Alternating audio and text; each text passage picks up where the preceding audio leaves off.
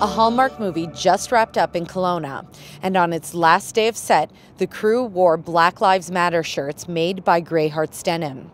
It comes after an incident that recently took place on a Vancouver film set. There was a crew member who was wearing a shirt, a hoodie in this case, that said Black Lives Matter, and I guess the director on set felt that that was a violation of their dressing codes or their codes of conduct, yeah. their policy, and that person was given a choice to either change their clothes or to go home. The shirts aren't new to Grey Hearts Denim.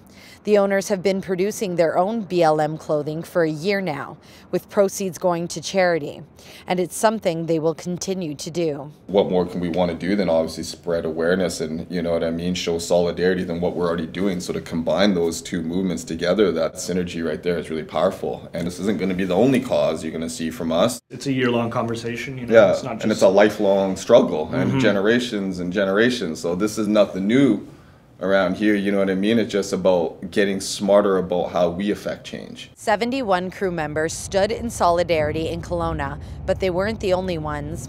The Black Lives Matter division in Vancouver asked film crews all over BC to wear their shirts as well it hurts when you see the film industry being portrayed in a way that's not supportive of equality. And that's what that incident did.